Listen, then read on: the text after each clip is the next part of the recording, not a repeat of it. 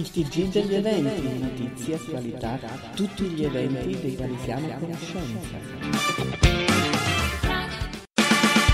Benvenuti al TG degli eventi di Radio Tuscia Evans, edizione di domenica 21 maggio.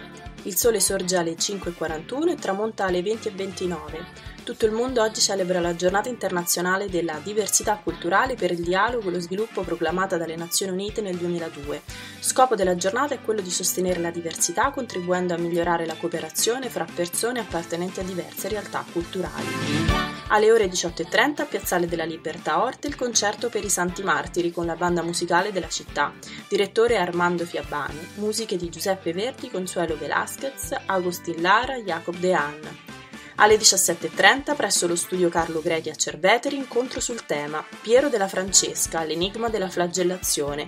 Relatore Giancarlo Iacomucci Litofino, studioso di figure e simboli esoterici, spirituali, presenti nel quadro di Piero della Francesca, che propone la soluzione dell'enigma del quadro in un'ottica affascinante e reale di cui nessuno ha mai parlato in precedenza. Dalle 10.30 alle 15.30 a Sovana appuntamento per visitare l'antica città etrusca Suana, la più importante e ricca della zona 2500 anni fa.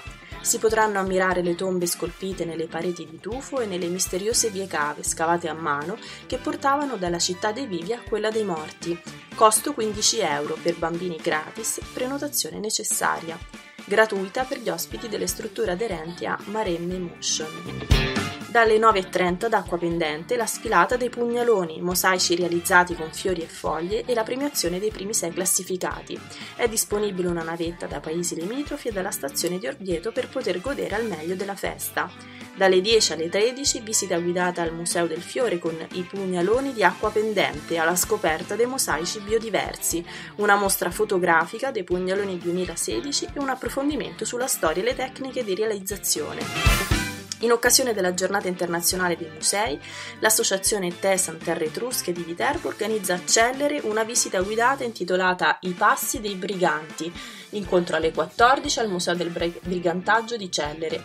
Il visitatore avrà la possibilità di ricostruire le storie che dalla seconda metà del XIX secolo sono sorte intorno a questo fenomeno. Si attraverseranno le vie del centro storico fino ad arrivare alla chiesa di Sant'Egidio.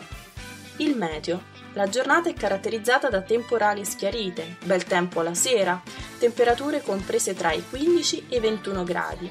I venti sono moderati e provenienti da nord-ovest con intensità compresa tra i 24 e i 30 km orari. Domani giornata caratterizzata da ampio soleggiamento con temperature massime di 25 gradi.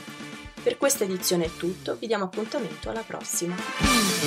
Il TG degli eventi, notizie, attualità, tutti gli eventi dei quali siamo a conoscenza.